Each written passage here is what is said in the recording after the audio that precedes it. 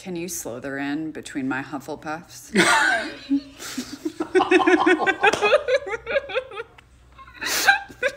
if I speak Parseltongue, will you tongue my parcel? Oh Poor Harry Potter. Why don't we spend the night together in the Shrieking Shack and make sure it keeps up to its name?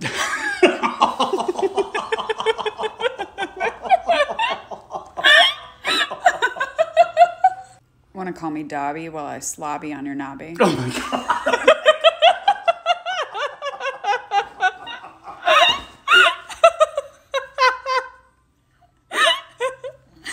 I got something you can cover your face with. they just keep coming.